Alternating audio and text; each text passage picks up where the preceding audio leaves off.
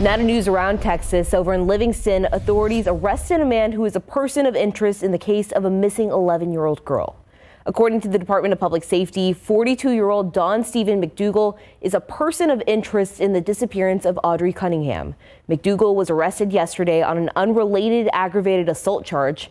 DPS says this blue Chevy Suburban, suspected to be involved in Audrii's disappearance, belongs to McDougal. DPS officials also say they've searched several spots, but they haven't found Audrii.